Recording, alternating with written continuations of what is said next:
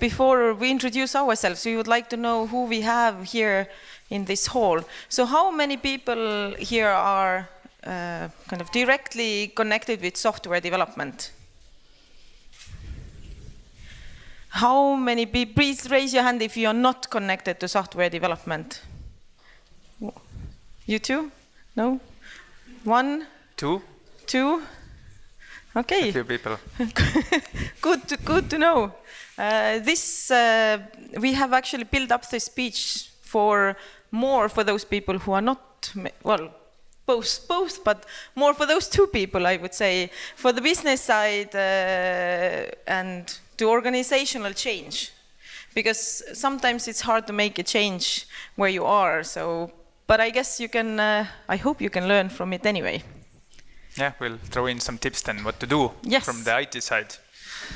Uh, so uh, I'm Kaspar, this is Heldin, uh, and uh, we uh, do run a small uh, business agility boutique consulting, but today we are actually going to talk about our real life experiences and about four case studies uh, from our own professional past.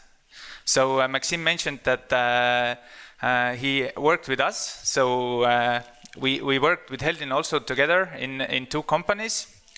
Uh, in finance and banking sector where we uh, actually uh, went out to build uh, two new banking platforms for the organizations. and of course went agile to do that. and our roles in the organizations have been well, we've had various different positions, but our role has always been uh, about uh, managing this transition from, from the status quo into the new agile methodologies and, and so on.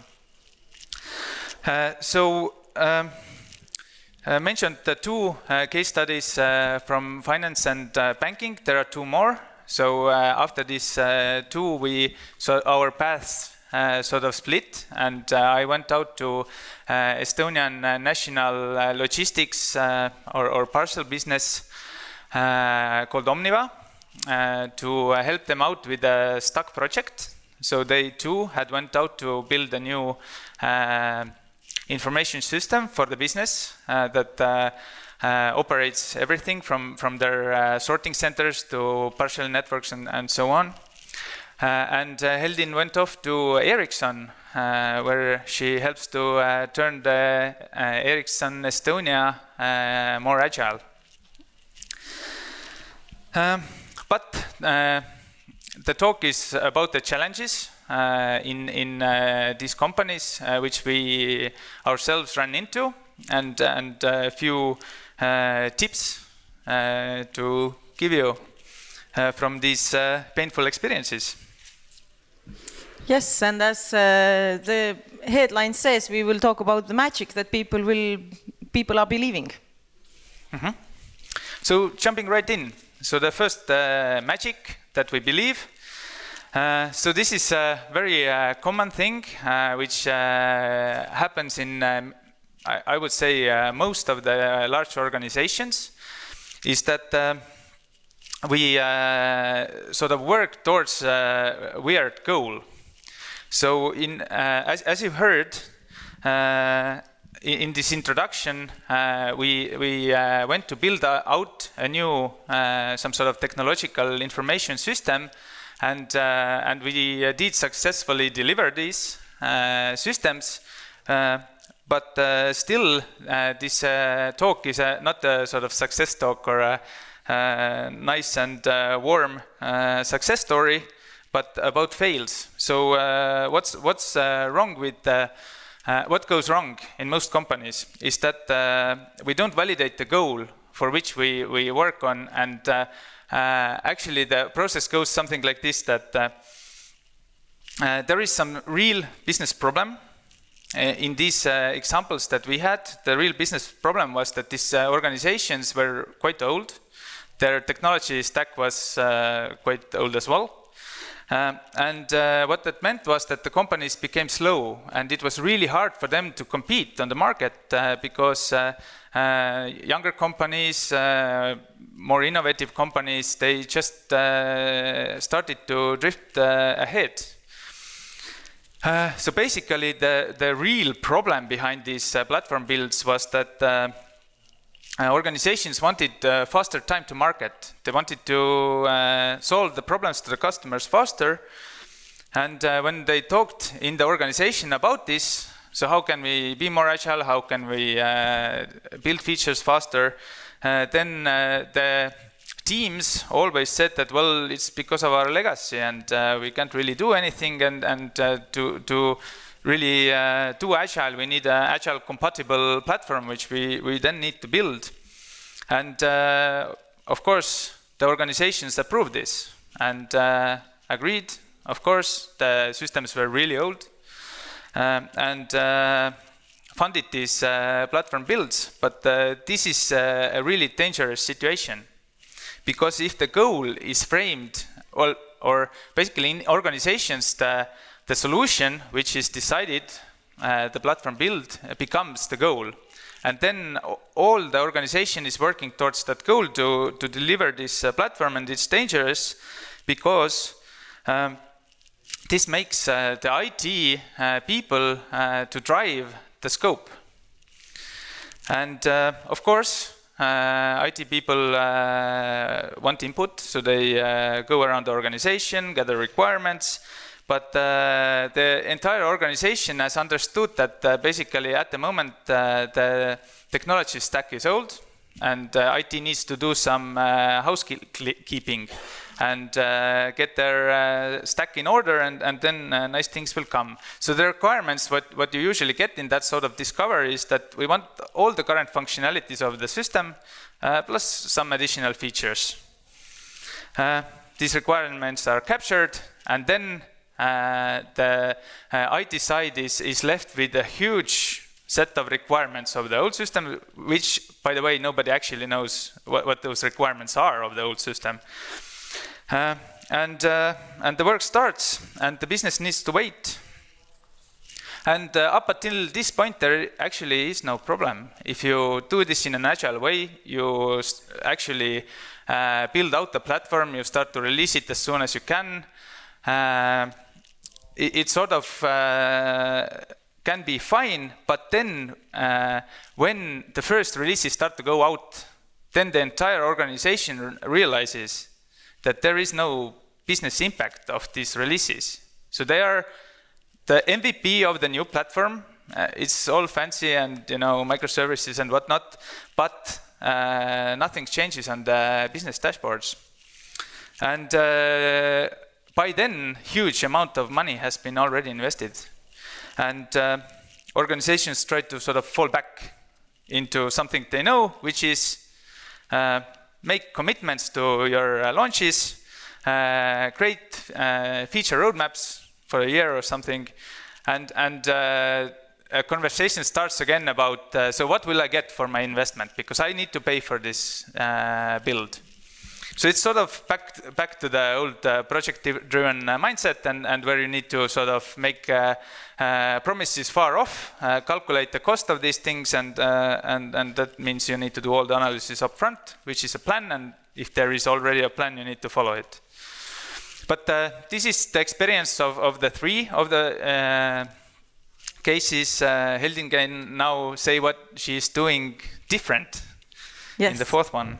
So, uh, as Kaspar said, we work together in two of those three out of three those companies, and what we saw is that when business has a problem, they think, especially nowadays, when everything is going more like technical, all the companies are like, there is no bank anymore. It's a bank is actually a technical uh, kind of uh, company now. IT company, and so on. And what we saw is that the problems that the companies have, they are given to uh, IT, that you solve this problem. And then IT starts changing, but in the end what happens is, is that IT becomes very agile, but they cannot deliver value because the value comes when the whole organization is changing. And uh, so when I experienced that for two times, I decided, okay, now I want to do something different. So when I went to my next uh, company to work, I was also hired actually to work with the teams. And then uh, I think after two months, uh, I was able to convince my manager and my kind of like our head of our organization that uh, this is no good. We need to change the organization. But the question is how to change it.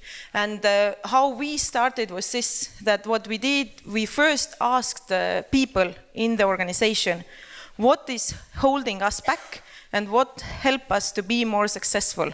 And based on those uh, kind of outcomes, what we got, we already uh, started thinking how can we improve. The second what we did, we did NPS questionnaire for our stakeholders. Who knows what NPS is? Uh, only a few people, okay, I will no. explain it. NPS mean, stands for Net Promoter Score. So we went to our stakeholders and we asked them on a scale of 1 to 10, how likely you will recommend us to your friend or your colleague. We asked how likely you recommend us for your colleague.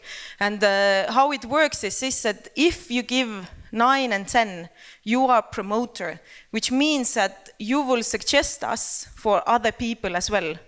If you give 7 or 8, it means that you are actually neutral, that you will not promote us, but you will also uh, not kind of like kind of talk bad about us. And everything that goes uh, six or below are actually negative answers because those people will not recommend us, they will not talk anything good about us, but vice versa, they actually talk bad things about us.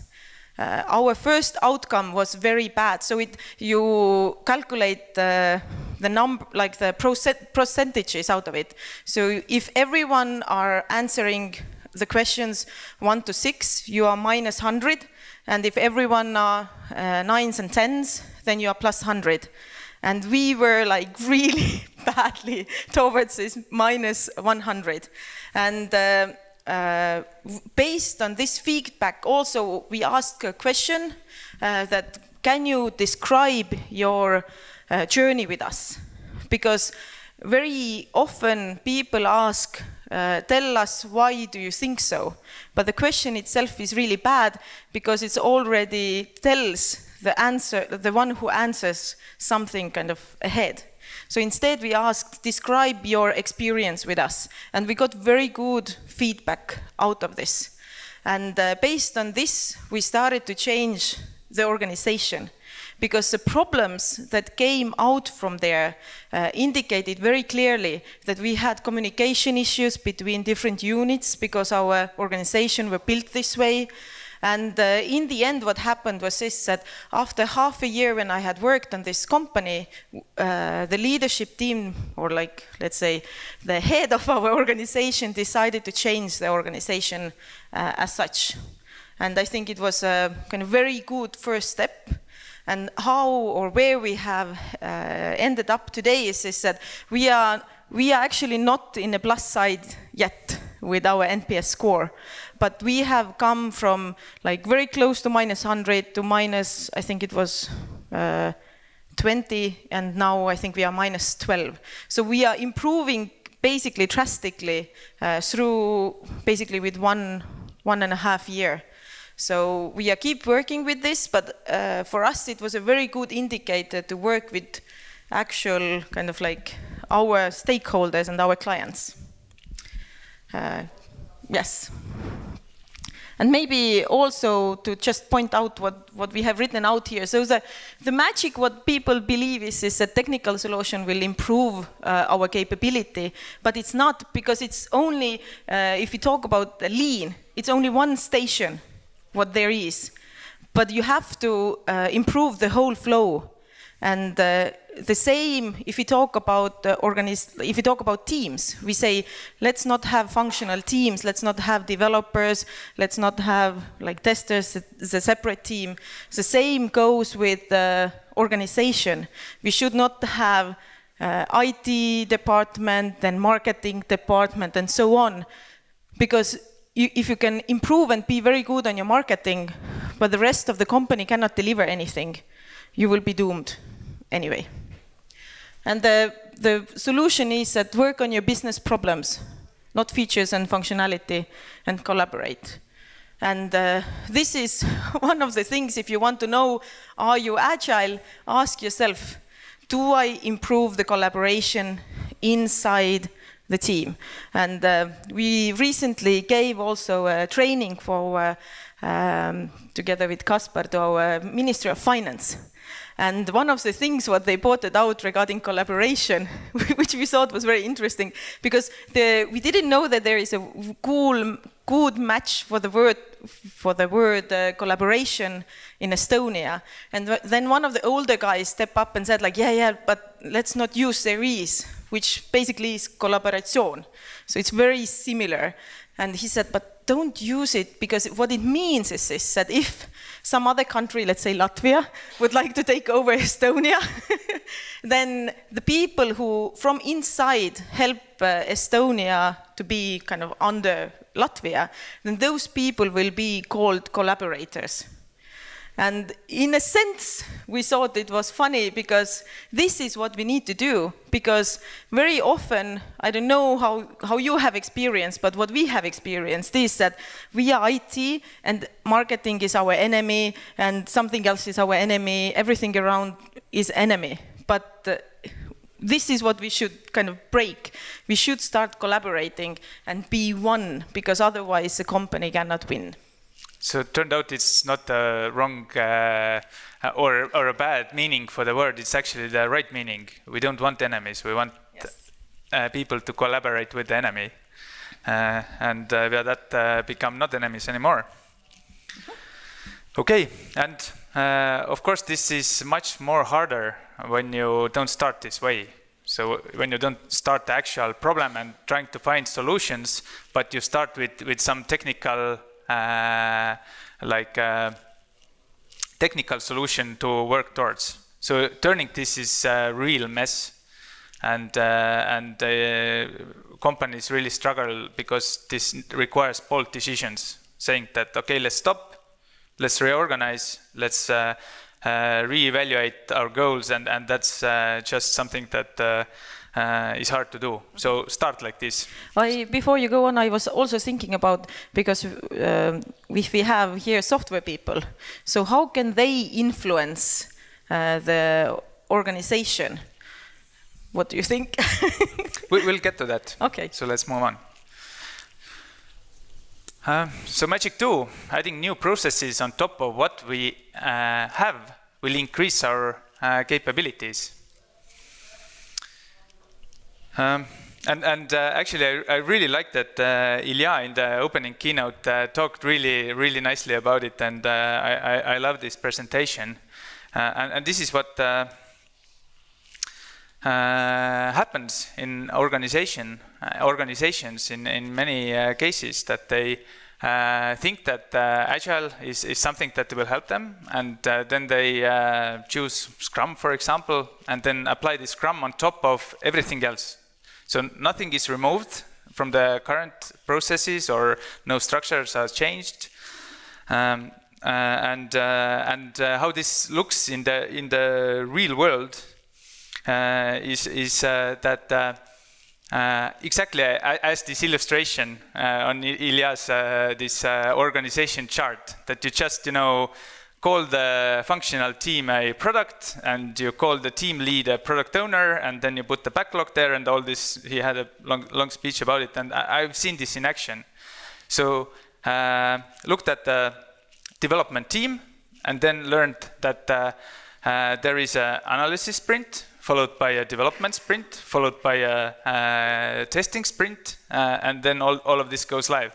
And and with the change the actual time to market for the feature remained exactly the same. Mm -hmm. uh, okay, but uh, so uh, what to deal with?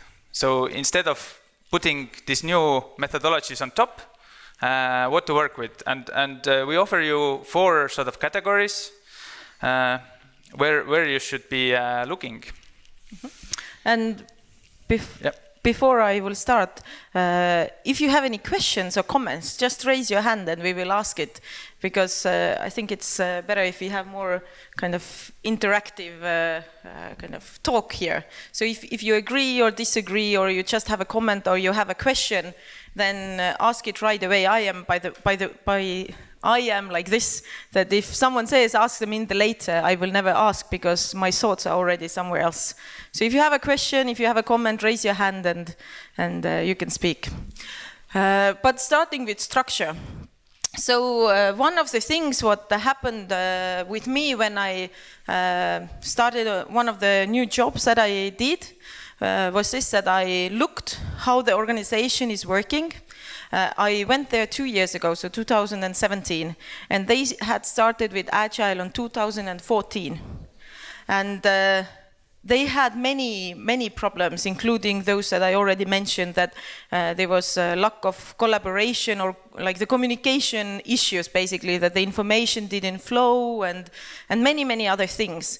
And when I looked at this, then I understood that the way how they had built up the organization uh, made the problems that way. So for example, if you work on a waterfall way, then of course there will be communication issues because this uh, process has not meant to be that the information goes back up to the uh, kind of like if there is, let's say, design and next is development, it's not designed that the information goes back to uh, like the step before. And I saw that many of the problems that the people had was by design. So I, I picked this uh, line uh, up from uh, software where the uh, developers say some time to time that it's not a bug, it's a feature. So that what happened actually with the organization as well, that the way how organization was designed, all the problems, or like let's say not all, most of the problems what they had was by design. It was a feature that came with the way how the organization was built. And it, it wasn't a bug, but we handled them as bugs. So we wanted to kill them, uh, just remove the bug and everything will be fine, but it will not be fine because it's designed this way. Yes. Mm-hmm. Okay. Uh, so how to think about structure then? Uh, so everybody's from, from the technology side, so uh, who knows the Conway's law? Oh, okay. So uh, basically, uh, this is a quite old uh, law already, written I think in 50s or, or something like this. Uh, about uh, organizations that uh, design systems. And the guy basically uh, studied the problem and understood that uh, organizations that design systems uh, are only able to produce designs that are copies of their own organization communication structure. So meaning that the way your organization is split is the way you're going to build your solution. And um, to, to sort of get the uh, sense of where to move, uh, I would propose to, to take a sort of lean hat and, and put it on.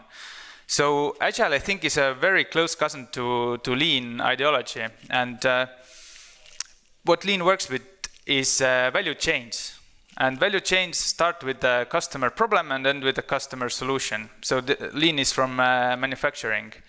Um, and uh, the way to think about your uh, organization structure is, uh, in this context, is uh, to look at your organization as a feature factory that you um, need to provide value as fast as possible, and you should not uh, allow the work to sort of stall anywhere in the process.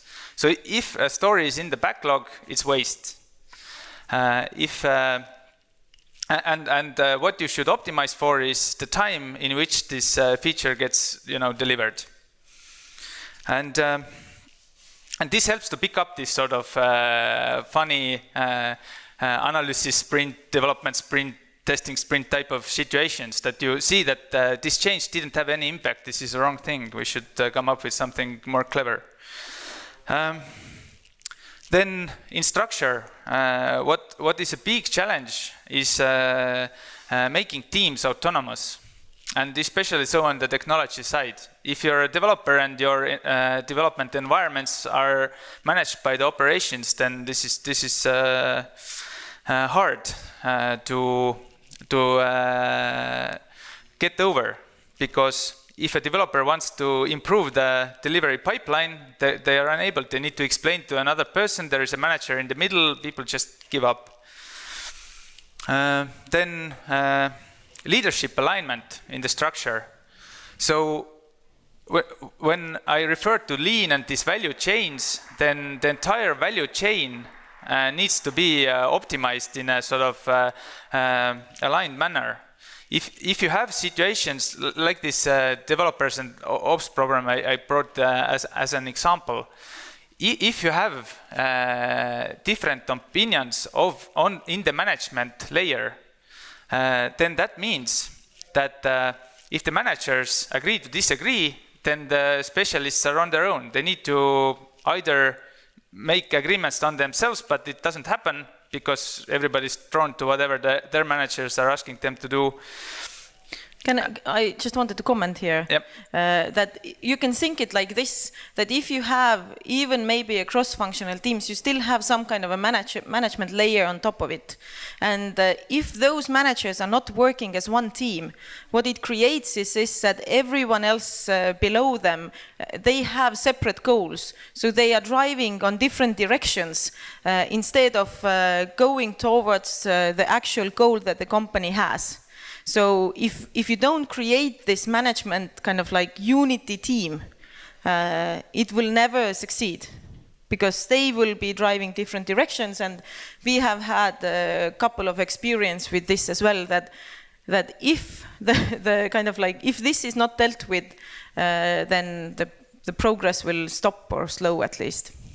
And uh, in in uh, worst cases, this actually means that the specialists remain in sort of a situation where their manager asks them to do something, the person that should help them is not helping them, and this creates tension, and the staff turnover uh, really goes up. Mm-hmm. So, so good people start to leave, and uh, and we've had that in in uh, some occasions due to this problem of managements, not uh, managers not uh, being aligned.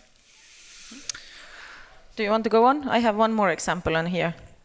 So um, again, uh, one of the companies where I worked, uh, when I started working there, uh, I, it, how, how they worked was uh, like the process, I don't know actually what the name is, it's called resource pooling.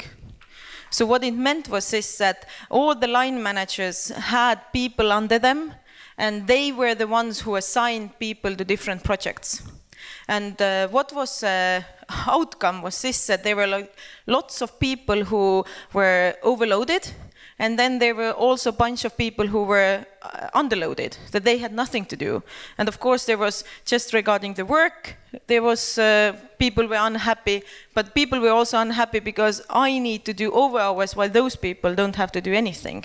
So one of the things what we created right away was those cross-functional teams and when we started to create, and before that, one of the problems what we also had was this that, uh, and I'm not working with software, so I'm working with hardware currently.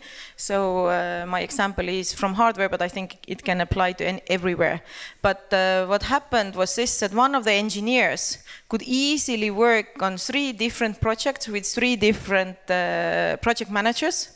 And uh, the outcome was that if one of those projects were in trouble and this engineer had to support full time this one project, then soon we didn't have one failing project, but we had three failing projects because no one could help with these other two projects as well.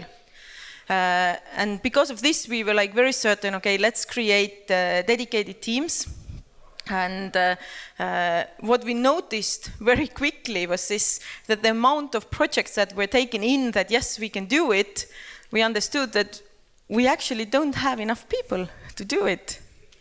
And uh, we ha had to start uh, hiring more people to actually get our work done. Uh, but it was very good way to visualize what our problem is. And it came with this that the focus was on uh, functions. The other thing what was in focus was this that every, like the functional manager's role was to make his or her team perfect. Everyone worked with this. But again, if one of the functions was failing, then dun dun da, the flow was broken and we couldn't deliver. So uh, this was one of the things that was, was easily changeable if you created cross-functional teams. Uh, and our case, the other problem what we had was this, that because people, and it, it comes like people past, that they uh, have used to work on functional teams and they have such a hard time to work in a cross-functional team to understand this is my team now. Because it's so much easier to say it's your problem or it's your problem and now you cannot say it. It's our problem. So that's uh, another thing that i noticed. With when you start cross-functional teams it's always doesn't make uh, the teams to understand that they are the team, new team now. Mm -hmm. Okay, so the structure is the biggest, biggest and most painful uh, topic. So we spent uh, a lot of time there. Uh, let's move on on budgeting. So uh, as the Magic One was about this uh, building a new platform will take us to the new era type of uh, belief, then what if you are in a situation like this that you are thinking about doing this? Or, or you are already doing it. So how to get past it. Budgeting is, is something that actually creates this. So this is why we have these really big uh, uh, projects. That uh, budgeting in uh, many, mo uh, most big organizations is uh, project-based. And, and that's a really hard thing to do because it's really hard to convince the top management that uh, well we don't have a good plan. We just have you know good goals and a couple of hypotheses and we just you know want to start developing and we'll start producing value. It, it doesn't sort of land well but how to get uh, around this then? So you can't sort of uh, deny to do these uh, status quo processes. You have to go with it. But what you can is build out a parallel process and if this actually starts to work then it's possible to get rid of this uh, project planning. And the way, the way it's done is that uh, uh, first you need to visualize the work throughout the entire organization. So, so sort of this uh, lean value chain uh, concept again, that how the work is done. And, and the hard part of it is that you need to define the real business goals. You need to define the, like how you get there, basically your, mm, features uh, that you are going to build. And, and then you need to link the actual work, the tasks that people have on their table with uh, these uh, uh goals. And this, uh, this is really hard to do because uh, first, these business goals are hard to define. then this whole linking exercise is, is heavy weight. but as said, if you manage to do that, then it uh, adds two uh, really big benefits. Firstly, it's really easy to have discussions uh, up like to the management, like what we are doing, why uh, it costs so much, why it takes so long, whatnot. Um, the other thing is that it makes it really uh, clear when you have a task and it's linked to a sort of a milestone and it's linked to the original business problem, you, you understand what you need to achieve. And it's not just a task, it, it has this context that, that is actually very valuable for, for people. Um, and uh, then uh, one other thing needs to change for this to be possible is, is the way uh, um, analysis is done. So in this waterfall analysis is just one step and as Heldin said, information never flows up upstream. So it just moves down. And the quality of the analysis is not really validated before, you know, stuff hits live. Um, and uh, it's really important to start validating these analysis results uh, early on. And in this uh, Omniva example, where we had already this huge project uh, stuck, so uh, it's a huge business, it's a very complex uh, platform, and I think there were about 70, 80 engineers involved in the, in the operation. And uh, all of it was uh, towards the end goal, so towards the live. There were no like uh, uh, value drops in between.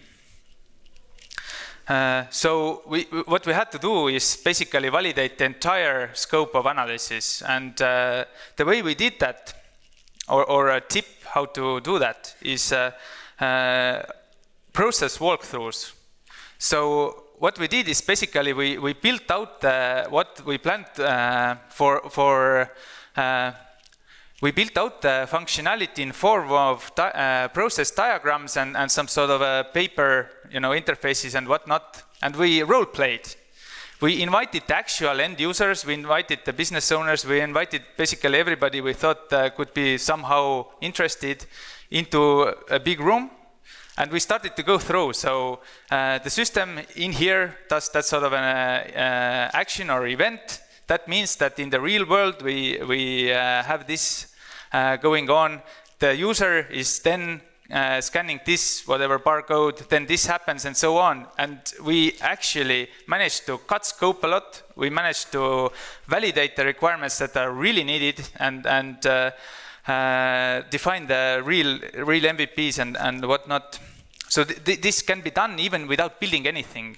Just with the people in the room, paper, you know, markers, whiteboards, that sort of stuff.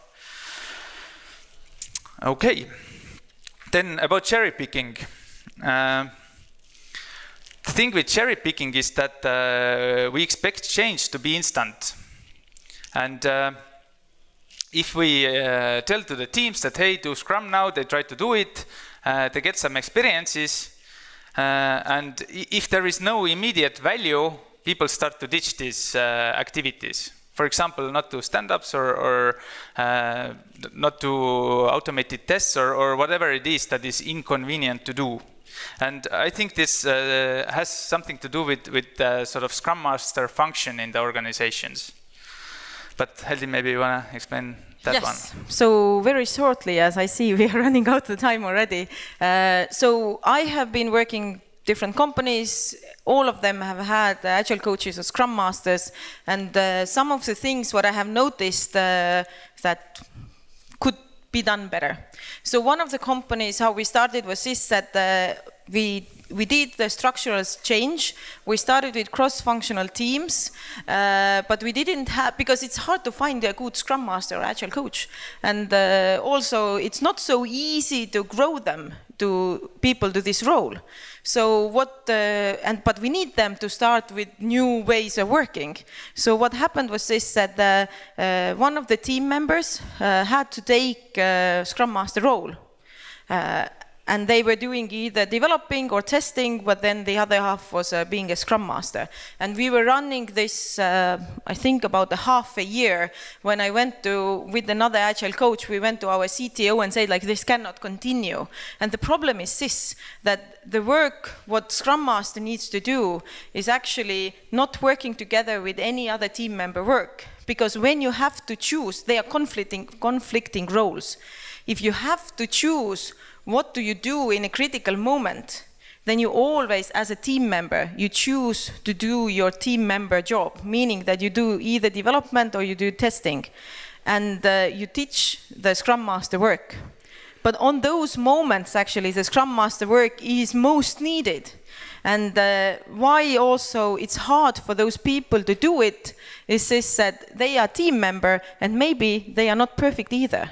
So they, it, it will be kind of like I'm preaching something that I'm not good at myself. So people feel bad about it. So basically, in the end, the role is almost like like no one is doing this uh, role anymore.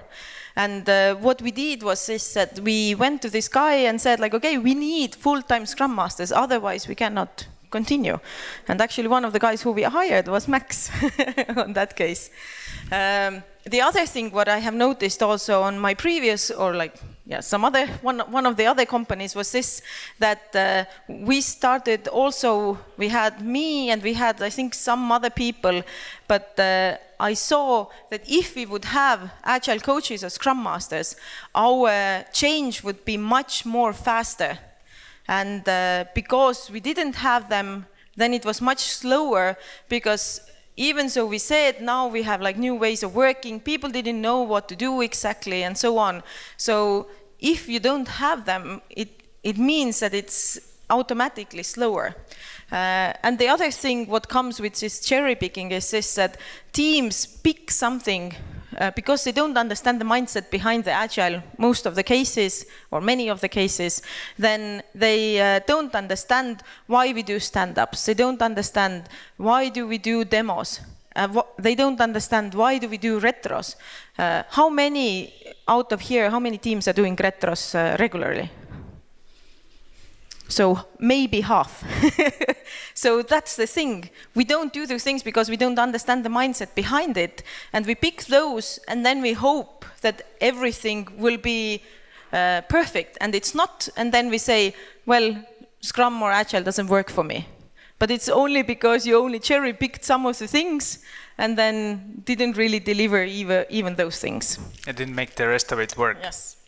Okay, so with tooling, tooling is a really interesting thing as well. What I've uh, learned is that when you buy a fancy tool uh, to uh, like improve uh, some uh, way that the organization is dealing with something, uh, then you cannot leave this tool with a team that is running this function at the moment. So, so what I mean is that, for example, in I think all of those uh, three uh, organizations, um, which uh, my, my uh, these uh, uh, cases are, are from, had invested heavily into this DevOps toolkit. And, and what DevOps tools are about is about giving developer a sort of self-service to manage their environments, to manage their deployments, stuff like that. But in all those organizations, when I arrived, no developers had access to it. So, so these tools were bought by the operations, they were uh, installed by the operations, they were managed by the operations to do uh, the same things that was done before with a new tool in the old ways. So, so basically, if you buy tools to solve problems, you need to actually study what this tool, what value this tool will bring, and you need to involve all the interested parties, and you need to actually uh, pilot and test and, and learn about this tool before you go to your production services. Uh, otherwise, just the fear factor will will uh, make it uh, implement, be implemented in a way that it it uh, just again uh, reintroduces the the status quo. Okay. The last and, one. Yeah, yeah, and so here again, the magic was that adding new processes on top of what uh, we have will increase our capability. It's not true. If you don't know how to use the tools, if you don't change your organization uh, to fit the tools, if you don't start think the new way, this will not help you. We have seen it happening. I bet you have seen it happening as well. So don't do it and instead measure your capabilities. Don't focus on methods, tools, and platform. So measuring is a key thing here. It's hard, uh, but it's worth it because if you have data, it's really hard to fight against you. Mm -hmm. Okay. And the last uh, magic people believe in is that modern technologies and fancy stacks will improve the culture. And uh, here I work in a, in, in a company where we do hardware and the hardware is industrializing and all the nowadays most known uh, kind of company ways of working comes from that. So when there was industrialization, industrialization era, what happened was this that we, there was needed a lot of people to work with whatever there was produced. And uh, how the management system uh, uh, came was this that uh, uh, you could hire anyone from the street. You had to make this job as simple as possible so anyone can do it. They didn't need to think, just come, just do. I tell you exactly what you need to do. You need to like take this thing and put over here and it will work. And uh, this like happened like I don't know hundred years ago, but we still use the same way, but our society has become much, much more faster. There is a saying that uh, we have never been uh, as fast as we are today, and we will never be as slow again. So imagine everything changed, but we are keeping these processes the same. And out of those processes uh, came also, uh, uh, it's called human view X and human view Y. So human, human view X is this that people are like X's and they are like, don't give me anything. I don't want to do, you have to push me to do everything. And if you don't push me, then I will sit somewhere in a corner and don't do anything and I waste your money. And then there is human view Y, which is people who say, hey, here I am, send me. I want to do stuff, I want to do great stuff. And most of the people who come out from school, they are like this. I want to do this. And then they come to the companies and they are quickly put into position where they are X's. And how it happens, it's almost like in US after the Second World War, War II, they were done an experiment. It was called prison experiment, where regular people were put into the prison so, and they uh, made it half. So let's say this half will be prisoners and this will be the prison guards. And what they noticed, they actually had to stop this uh, uh, kind of meet this experiment because the prisoners actually started to act like prisoners and prison guards like prison guards, even though the prisoners were not guilty. They were regular people from the street. And I have seen this happening in the companies as well. So if your company structure uh, and culture is in a way that the managers look down and think of people that they don't want to do anything. I have to push them everything. I cannot give them any freedom. Then they act with them like exes. And people will become like this. And also vice versa. Uh, if you look new startups where everything is blooming, uh, then those are the people, the managers who say like, okay, we need people, we need someone who do something. And everyone who come are like, why? Like, yay, I'm here, send me. And because of this, uh, they are also flourishing. But yeah, so how to, how to get out of, out of it? Or what's the solution? Well, it's uh, quite simple actually, that uh, leaders of the organizations need to uh, start asking about uh, transparency. So not to uh, ask about uh, commitments and promises and plans but, and, and then reports, but to ask for transparency of what is really happening. What's our capabilities, what's our value that we are creating and, and so on. And uh, the way to uh, influence that is to contribute. So instead of man uh, uh, some managers running into the board meeting with reports, the board should come and see what's going on if they have questions and uh, join the team ceremonies. Uh, and middle management role then changes as well. Middle, middle management's role is to build that transparency, make it visible link your goals with your activities, and, and then it's really easy to do it. And uh, yeah, I again really liked this uh, morning keynote uh, where, where I stole this sort of sentence that uh, culture follows structure, and uh, it's so true. And uh, leaders really need to drive this change in the organization. You cannot, we, have tried to uh, like uh, change the organization from bottoms up as well. Uh, we now have concluded that there is no point. Uh, that if you really want to change, you need to start the change from the real, real top of the organization. And uh, yeah, this cannot be delegated to, to anyone. Yes, and I guess you can put, this was our last slide those are us. and uh, if you have any questions, you, you, feel free to write us or call us. And uh, and uh, if you want to give us any feedback, or if you have right now any questions, we will stick around here. We will stay on the after party. Then just come and talk to us. And I guess uh, if it was interesting, you will come, and then we know that we, we, we at least give something good. Thank you.